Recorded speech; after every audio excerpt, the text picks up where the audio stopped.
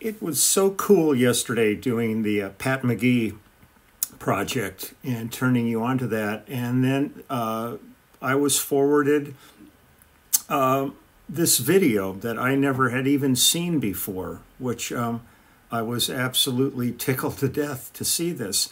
So I, I have plans for another video today, um, but th uh, this came up. I found this in the wee hours of the morning and thought I would share it with you as like a little continuum from yesterday's video. Um, it, it, was cool. I, I, you know, it's fun. Uh, there's, I've done a couple of projects where they actually did this kind of a, uh, you know, like a documentation of, of the process. So rather than talking about it, let me just go ahead and show you this. This is really great. So yesterday's Pat McGee album, check this out. You know, number one, this is a, a, kind of an anomaly in this day and age to actually have a band together in a studio, yeah. a real studio, especially cutting to tape. Um, I end up only doing a few of these a year like this, and it is a treat when we get to do this because it really harkens back to the old days where this was the norm rather than the exception.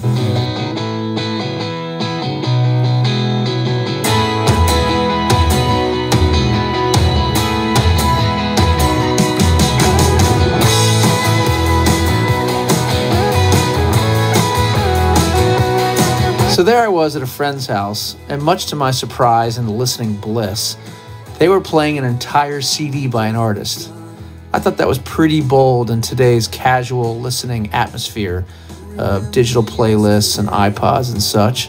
It was then revealed to me that they were in fact spinning vinyl. A major light bulb went on for me.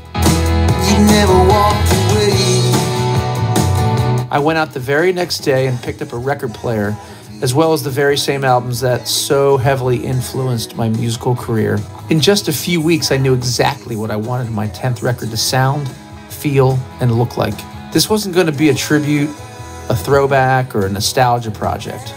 The songs, for the first time in 20 years, were written solely by me, and I never felt so true to my influences. So when I first set out with my co producers, Kit Carlson and Chip Johnson, to find the right band to record this batch of tunes.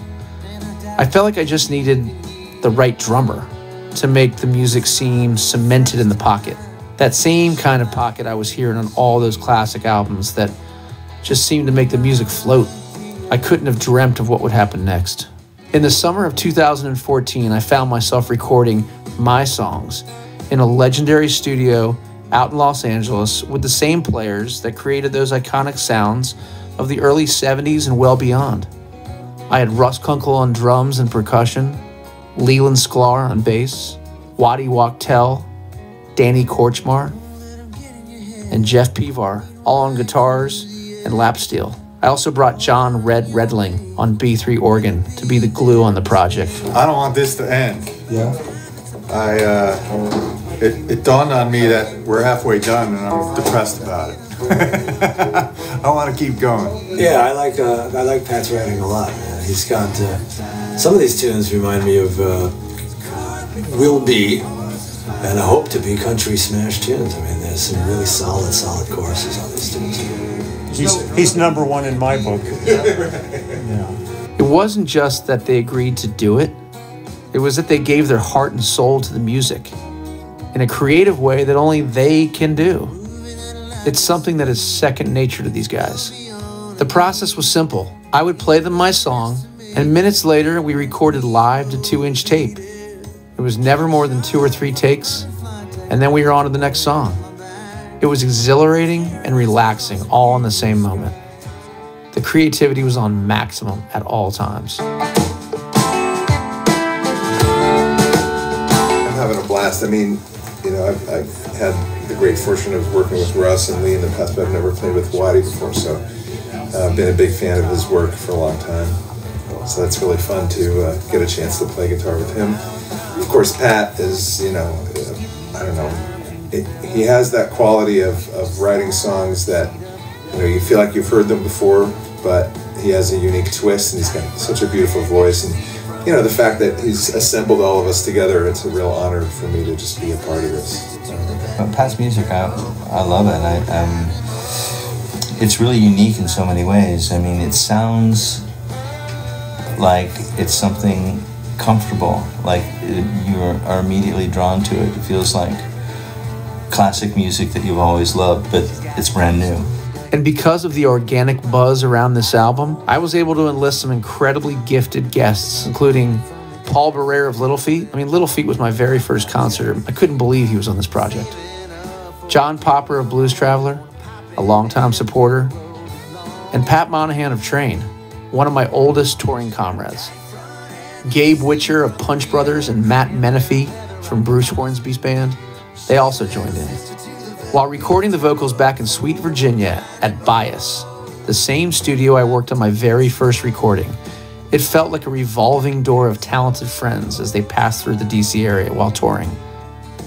I had PMB's Al Walsh, Bobby and Hank of the Blue Dogs, Colby James, Tony Lucca, Emily Hearn, even my brother Hugh. They all added to the powerhouse core backing vocals on this album from Jonathan Bryan Williams and Patrick McAloon. Michael Geoghegan put his signature horns on there as well. The lyrical content on this album is very personal to me. It ranges from moving tributes to a friend of mine who passed away, to marriage, to the birth of my son, my new home state of Rhode Island, bad choices and depression, courageousness, and carefree childhood memories. I even worked the family car into the album, the 1982 Chevrolet Chevette. So, this entire project was a real return to my roots.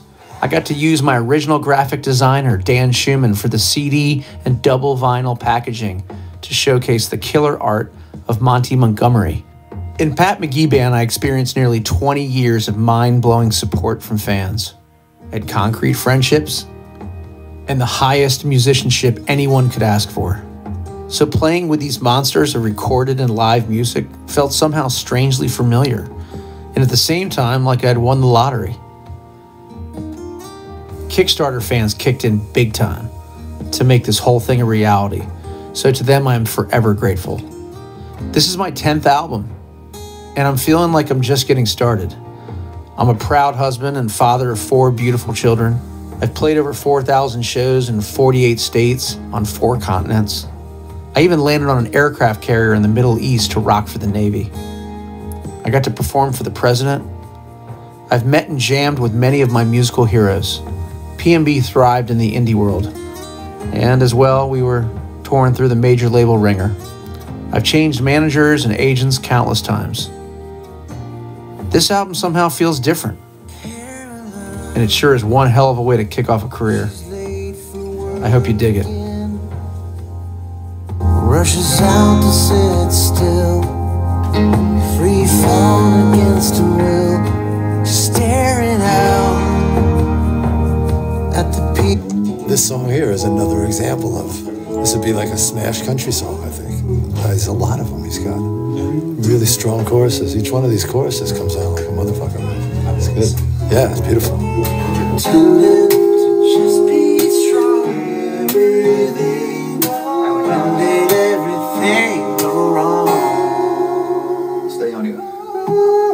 Okay. When did everything go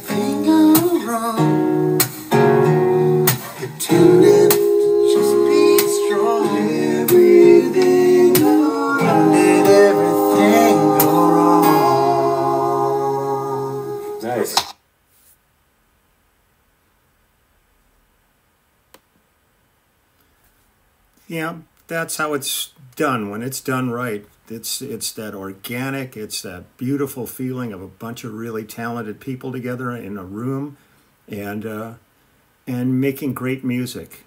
Man, I love this so much. I was so thrilled when I saw this, because yesterday when I did the um, my kind of tribute to to Pat's album, I was closing my eyes, and that's exactly what I saw. That setup in the room, that studio, that energy, and everything. So, um, really cool, really cool. So, this was just like a li- this is a, just a little little nugget to throw in today. I've got another thing planned, and I will have that up a little in a little while. And today we're doing the uh, Billy Cobham webinar at noon here. And I've got a thing before that, and uh, there's a bunch of stuff going on today. So um, I was glad to grab this one bright and early here, and uh, I will send it off to you now and wish everybody a great day. And I will see you soon. And I have a little something to tell you that's really interesting. Um, I'll, I'll save it for the uh, for the official daily video. So take good care, and I'll see you in a bit.